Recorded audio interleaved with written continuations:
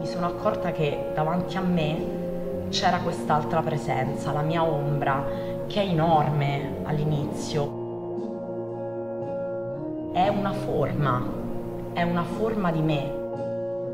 Pensavo di essere da sola e invece ero io e io, io e quella persona lì proiettata. Io dialogo con questa ombra.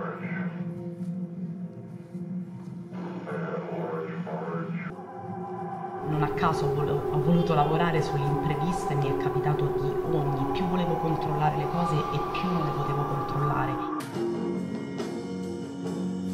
Quando tu ti, ti, ti prefiggi per forza una strada, un percorso e avvengono imprevisti che semplicemente te lo deviano, che cosa fai? Lotti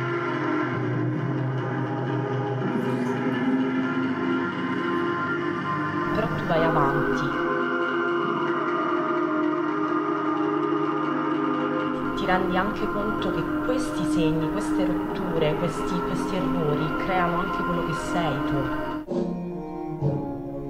Per un attimo dici ok, mi arrendo un attimo, mi arrendo a imprevisto, mi arrendo a un qualcosa che non va come ho pensato accettarlo e dire ok, sono questo in questo momento.